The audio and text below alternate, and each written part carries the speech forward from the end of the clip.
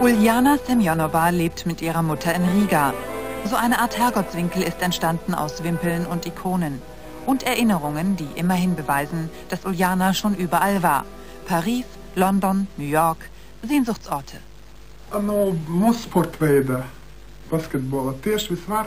Es erfordert schon einen hohen Preis, wenn man im alten System Leistungssport betrieben hat.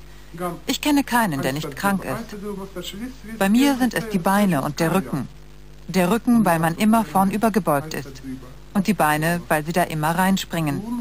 Es tut immer irgendwo weh. Immer. Aber daran denkst du nicht, wenn du aktiv bist. Daran denkst du nicht.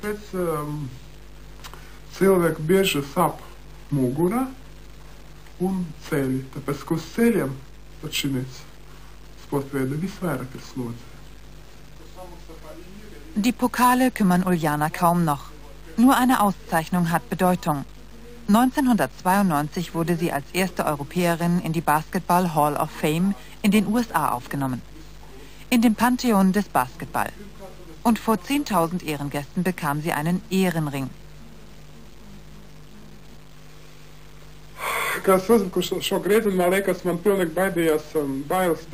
Das ist ein ganz komisches Gefühl, wenn ich diesen Ring trage.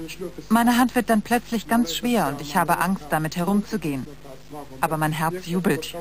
Denn auch wenn ich einmal sterbe, das wird doch bleiben von mir.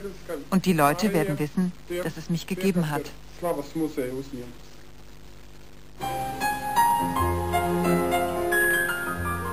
Und dann macht sich Uljana Semjonova wieder auf den Weg zu ihrem Park.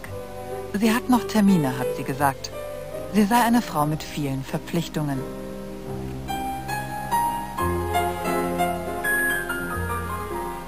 Ist das Leben schwer ohne den Sport? Ja, sagt sie. Aber sie hat nochmal neue Kraft bekommen. Die braucht man hier. Und einen langen Atem.